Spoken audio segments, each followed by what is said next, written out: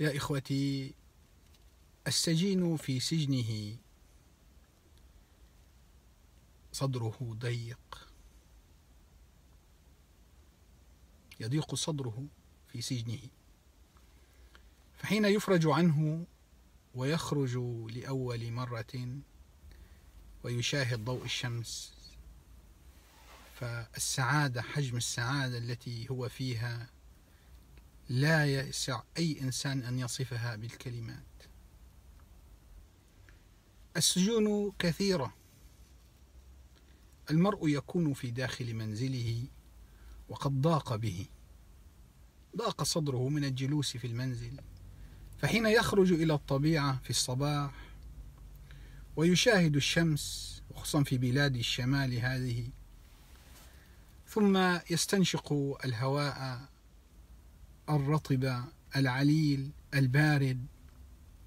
ويشاهد أوراق الأشجار ذات الألوان المختلفة في هذا الخريف فإن صدره أيضا ينشرح ويحس بشعور جميل جدا أنه خرج من سجن المنزل. الجسد كذلك هو سجن. يحس المرء مسجون. ضمن هذا الجسد. أنت لست جسدك. أنت شيء آخر. أنت تسكن في هذا الجسد. هذا مركوبك. الجسد هو مركوبك. لكنك محصور فيه. لأنك محدود. محدود بحدود حواسك. فاتصالك مع العالم الخارجي. لا يكون إلا عن طريق الحواس. فلو أوقفنا هذه الحواس كلها كلها فإن الإنسان يصبح في عزلة كاملة عن الكون المحيط به العالم الفيزيائي. المشكلة لا يمكن القيام بتجربة حتى نرى ما الذي يحصل لو أن الإنسان فقد كل حواسه. لا نستطيع المهم هذا الجسد سجن. مقيدك تركض دائما من أجل خدمته. ولكنك تحس تحس بالضيق منه. تريد أن تخرج إلى العالم الرحم تريد أن تحلق. عندما تخرج من هذا الجسد فإنك تشعر بسعادة لا يمكن وصفها.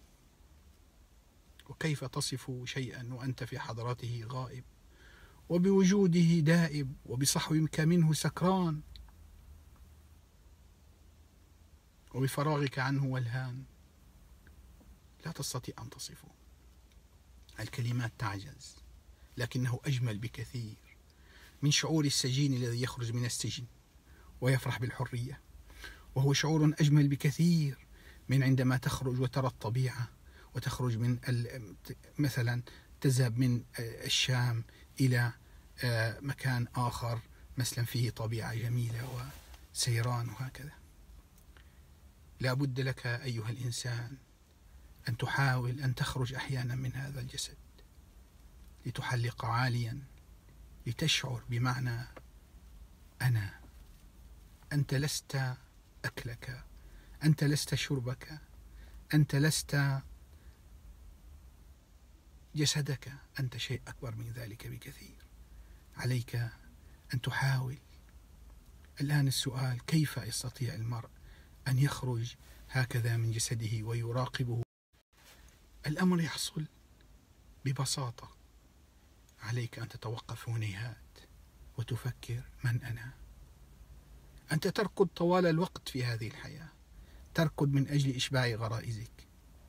هذا أمر لا بد منه. أنت لا تستطيع أن تعيش دون أن تشبع غرائزك وحاجاتك العضوية. ولكن خذ عشر دقائق كل يوم. ليس أكثر من عشر دقائق. اجلس في هذه العشر دقائق مع نفسك وقل من أنا وما هو وجودي وكيف أستطيع أن أحلق حتى أرى ملكوت الله سبحانه وتعالى في الأرض. أسعد الله نهاركم. والسلام عليكم ورحمة الله وبركاته.